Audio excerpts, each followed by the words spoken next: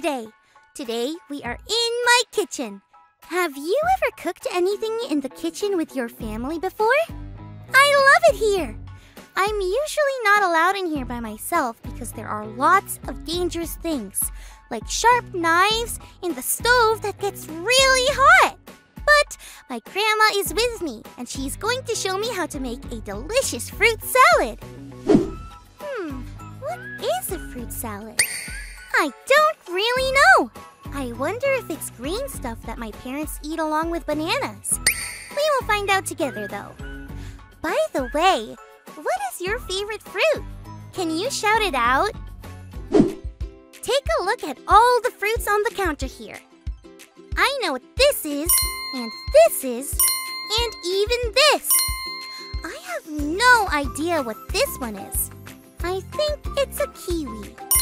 Can you say kiwi? That sounds so funny to say. I really hope my grandma doesn't use this one though.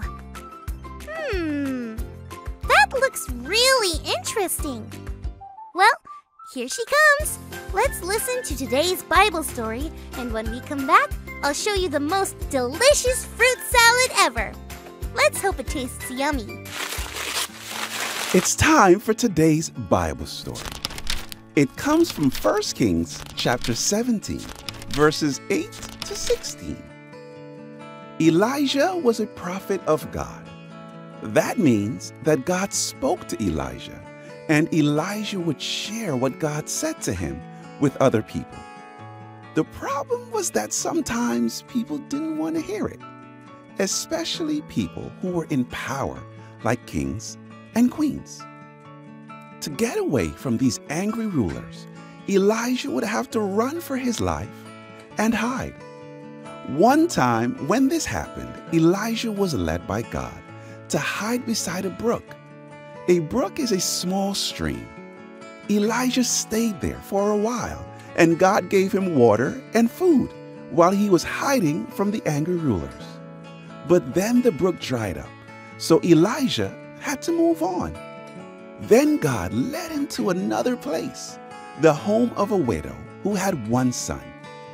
She was out collecting firewood when Elijah saw her and asked her for a drink. She started to go get a drink for the visitor when Elijah also asked for something to eat. The widow told Elijah that she only had enough food for one last meal for her and her son. She was collecting firewood to make that meal, and then she was sure to die.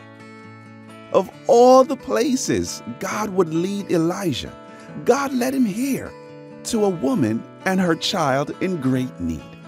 Elijah knew God wanted to take care of her and her son, but she would have to trust God first. Elijah told the woman to make him something to eat with what she had left, even though it looked like she would have no food left at all. Elijah told her not to worry. She wasn't going to run out of food. So that's what she did. She made Elijah something to eat, and it happened just as Elijah had said. She never ran out of food for her and her son until the time when they weren't in need anymore. This story helps us remember that God is always watching over us. That's why, before we do anything else, we need to, step one, trust God. That Bible story was awesome! It kinda made me think about how a cook prepares a delicious dish. The first step in cooking is having the right ingredients. What ingredients did I need for my fruit salad? Once I had all my ingredients, everything else was super easy. We sometimes have problems. The woman in our story didn't have enough food. But before doing anything else, she needed to do one thing first. She needed to trust God. When she trusted God, everything turned out okay. That's why today's big idea is step one is to trust God. Say it with me. Step one, trust God. So here is what we made. But she used kiwi. Callie, are you enjoying the fruit salad, dear? I haven't tried yet, Grandma. I'm kind of scared of the kiwi. It's delicious. Well, you should try it. Okay. Hmm. It's not that bad. It's actually really, really good. Wow! My grandma really knew what she was doing. wow. Friends, today was fun, and with grandma's help, I made the most delicious fruit salad ever. And now I can say I even tried.